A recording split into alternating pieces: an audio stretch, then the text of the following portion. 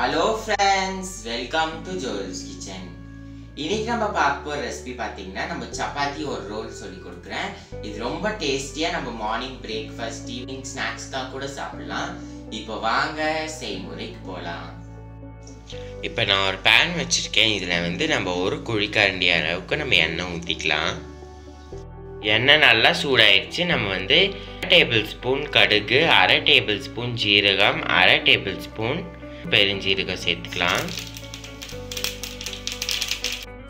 பட்டை கிராம்பு சேர்த்துக்கலாம். ரெண்டு பட்டை ஒரு சின்ன துண்டு கிராம்பு காஞ்ச மிளகு சேர்த்துக்கலாம். வெங்காயம் சேர்த்துக்கலாம். ஒரு வெங்காயம் வெட்டி வச்சுருக்கேன். கருவேப்பிலை சேர்த்துக்கலாம். பச்சை மிளகு சேர்த்துக்கலாம். ரெண்டு பச்சை மிளகு.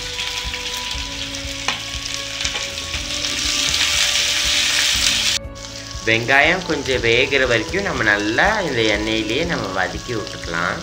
நான் ஒரு தக்காளி கூட நான் வந்து ஒரு டேபிள் ஸ்பூன் மிளகாத்தூள் அரை டேபிள் ஸ்பூன் மஞ்சள் தூள் ரெண்டு டேபிள் ஸ்பூன் மல்லித்தூள் சேர்த்துருக்கேன். இதை சேர்த்துக்கலாம். நம்ம தக்காளி நல்லா மசிகிற வரைக்கும் நம்ம நல்லா கலந்துக்கலாம். இப்போ நம்ம தேவையான அளவு உப்பு சேர்த்துக்கலாம். உப்பு சேர்ந்து கலந்துக்கலாம். நான் ரெண்டு உருளைக்கிழங்க நல்லா மசிச்சு வச்சுருக்கேன். வேக வச்சு மசிச்சு வச்சுருக்கேன். இதை சேர்த்துக்கலாம். பார்த்தீங்கன்னா நான் ரெண்டு முட்டையை நான் வந்து துருவி வச்சுருக்கேன். இதை சேர்த்துக்கலாம். வேக வச்சு துருவி வச்சுருக்கேன்.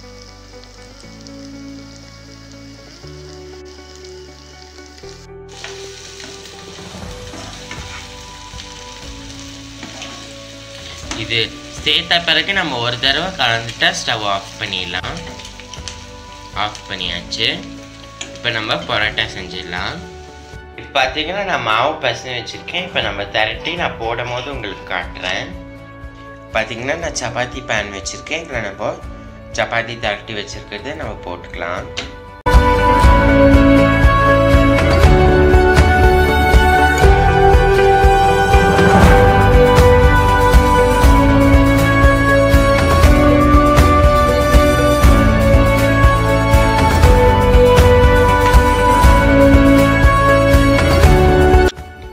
பார்த்தீங்கன்னா நம்ம பரோட்டாக்குள்ளே நம்ம வந்து செஞ்சு வச்சுருக்க ஸ்டஃபிங்கை உள்ளே வச்சு நம்ம கட் பண்ணிட்டோன்னா சூப்பரான சுவையான எக் பொட்டேட்டோ ஸ்டஃப்ட் பரோட்டா ரொம்ப சூப்பராக ரெடி ஆயிடுச்சு.